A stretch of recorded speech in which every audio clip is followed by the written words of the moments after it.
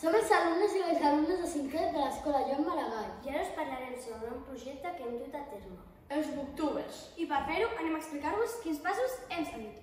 En un primer moment vam estar parlant i treballant sobre la figura d'un booktuber, que en sabíem per què creien que es feia, quin tipus de llibres ens agradaven, a qui li podíem recomanar algun llibre. Després vam visualitzar exemples de booktubers de Catalunya, Espanya i d'altres països i vam fer un guió amb les parts més importants que ha de tenir un booktuber. Vam decidir fer de booktubers amb llibres dirigits a l'alumnat de primer i segon de la nostra escola, per tal d'engrescar-los a fer noves lectures. Ens vam posar en parelles o en grups de tres per començar la preparació per fer, per fer tot el necessari per fer la gravació. Durant el procés vam valorar el nostre paper i el dels companys. Els mestres també van donar la seva opinió. Quan ja vam tenir tot a punt, vam realitzar la posterior edició i gravació del vídeo. Vam poder veure a tots els companys i les companyes de cinquè fent de booktubers. El fet de fer aquesta feina ens va permetre viure noves experiències. Els nens i nenes de cicle inicial estaven molt emocionats de veure la, les nostres recomanacions lectores en un format que no estan res acostumats. I aquí us deixem petites mostres de la nostra feina. Adeu. Hola, jo em dic Sara, I jo, Maria. som alumnes de 5è B. Avui us venim a recomanar un llibre que es diu Hola, sóc la Maria Jo, l'Òscar. Jo la Leila. I jo, Lionel. i ara us presentarem el conte de Cuallaga. L'autor d'aquest llibre és Catalina Granantí. El gènere és infantil. La història és bastant interessant. Els personatges són la mare i la filla. Avui us venim a recomanar un llibre titulat De cotó. Aquest llibre està recomanat per nens i nenes de cicle inicial. Aquest llibre conté animació i és molt interessant. L'autor és Jen Wiggins. I avui us recomanarem un llibre que es diu El dia que les seres de, de colors van dir prou. El seu autor es diu Dolly Chivers. El llibre és de colors. L'autora del llibre es diu Maria Ripoll. El llibre és d'animació. És molt divertit i té molts dibuixos per no avorrir-vos. És un conte d'animació i tots els personatges són animals. Els personatges són molt divertits i sempre es conviden a fer coses. En Fabià, el personatge principal, és un nen petit molt curiós. Al final, ens fa sorpresa estar. Quan llegiu, ja ho sabeu. Des del nostre punt de vista, no és el millor final del món, però té les seves coses bones. El llibre és molt interessant perquè cada vegada que llegeixes vols seguir llegint. El personatge principal és un soldadet de front que només té una cama, que es cau de la finestra i s'embarca en moltes aventures per tornar a casa.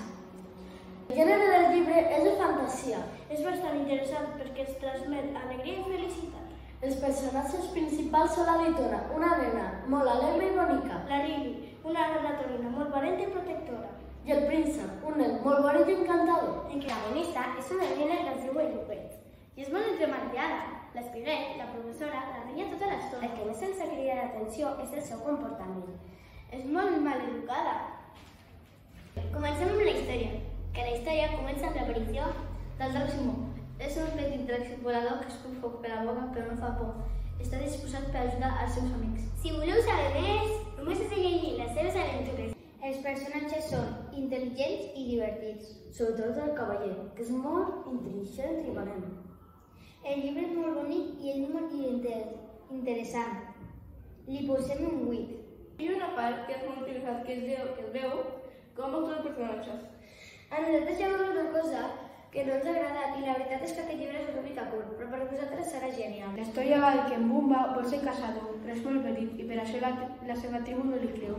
Aleshores té que demostrar que vol ser un gran caçador. De què va? D'una gallina que ve de Xina, que coneix els esquirols i va perdent coses per el, per el bosc. Si voleu saber què passa amb els esquirols, llegiu-vos el llibre. Us ho podeu trobar a la biblioteca de l'escola. Els personatges són els porquets i el llop. Els porquets són molt intel·ligents. I el llop molt dolent.